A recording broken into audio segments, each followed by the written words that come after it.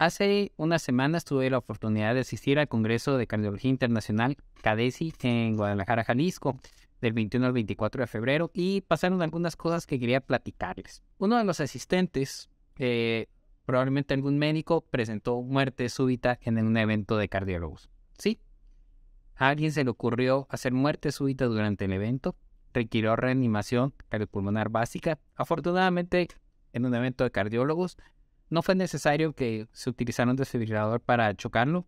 Regresó a su ritmo inmediatamente y lo pudieron asistir y lo llevaron y lo trasladaron. Aprendan RCP, sepan reconocer inmediatamente y eso puede suceder hasta en un evento de cardiólogos. ¿Les ha pasado que en el momento menos esperado a alguien se le ocurre abrir su WhatsApp y de repente escuchan ruidos medio extraños? Pues eso me pasó en una plática. Bueno, a mí no.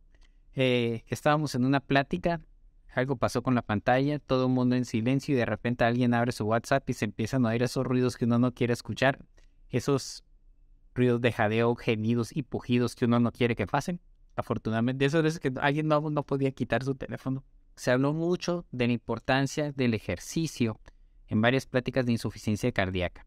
No solamente los medicamentos que se están usando actualmente, que ya hay cada vez nuevos eh, medicamentos para manejo de la insuficiencia cardíaca, tanto de insuficiencia cardíaca con fracción de expulsión reducida, o sea, cuando no funciona bien el corazón como bomba, como los que tienen insuficiencia cardíaca con función de, de eyección normal.